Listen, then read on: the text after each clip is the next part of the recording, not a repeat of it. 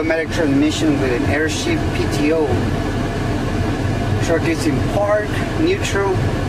In this case, what we have to do to engage the PTO properly, we have to put the transmission into a drive position. In this case, I'm gonna do the forward, which is the drive. I'm gonna go ahead and engage my PTO in. And if you want to spray while your truck is in park, just simply return it back to neutral.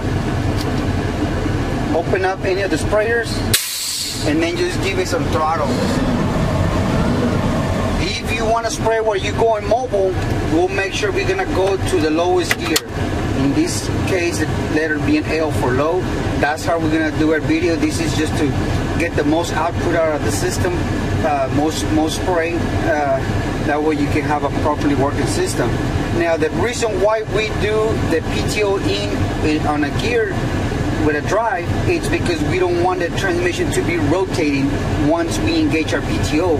Otherwise, we're gonna have two gears. One one's moving, the other one's trying to go in, and it's gonna create uh, some problems, some issues, and you hear some uh, the gears trying to go in, clashing each other. So we make sure we always put it back into a drive to engage PTO. You can uh, take out PTO. It doesn't matter if it's in gear or not that shouldn't really be any issue. So we'll go ahead and demonstrate our video with our two front sprayers, side sprayer, and the two rears.